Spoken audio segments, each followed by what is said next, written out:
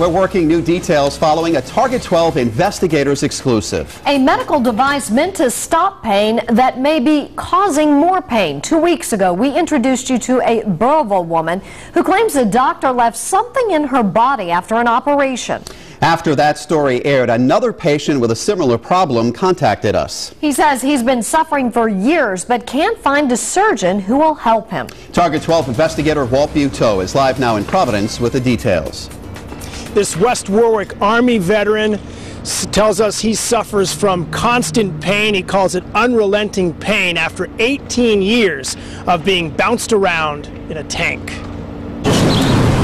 54-year-old Pat Bowen showed Target 12 x-rays of what he says remains implanted in his back four years after he asked for it to be removed. And it rides over your rib cage. It's like just a constant nag. It's a couple of inches of tube that. A recent Target 12 investigation uncovered a similar claim by Pascoag's Diane Morrison, who says part of a pain pump was left in her side. That prompted Bowen to email Eyewitness News. He showed us medical documents indicating a pain pump was implanted in 2001 with a revision of spinal cord stimulator in August 2005. Bowen's documents show his neurosurgeon for the 05 operation was Dr. Gerhard Fries, who was working with the Neurosurgery Foundation in Providence at the time. But Bowen says the device implanted and later adjusted by Dr. Fries never worked properly. You were fed up by what point?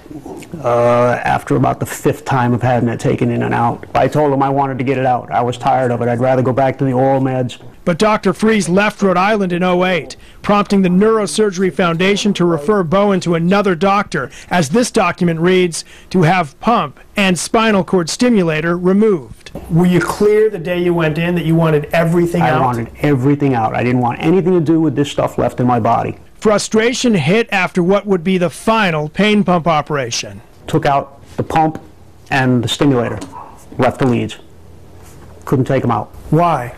Because Dr. Fries put them in. Bowen and Morrison tell us several surgeons told them they would not remove what another surgeon implanted.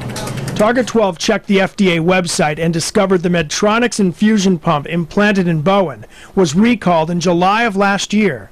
But Bowen tells us no one contacted him to let him know. Yeah, I'm stuck.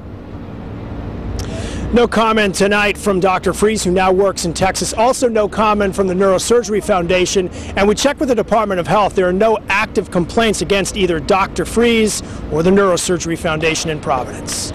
We're the Target 12 investigators live in Providence, Walt Buteau, Eyewitness News. The Target 12 investigators are always looking for news. If you want to help expose corruption or drop a dime on government waste, call our tip line 228-1763 or you can email us at target12 at WPRI.com. We're also working